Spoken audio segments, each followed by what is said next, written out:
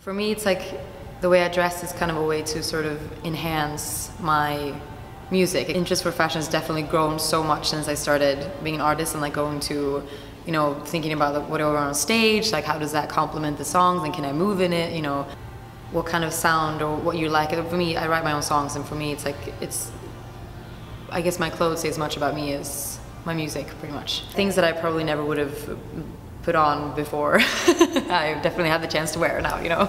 Maybe it's boring, but it's like my su like super old vintage like Levi's 401's jean shorts that my ass looks perfect in. I've been told, so I get a lot of compliments when I wear those shorts. I feel good in them. 2016, I'm over being scared.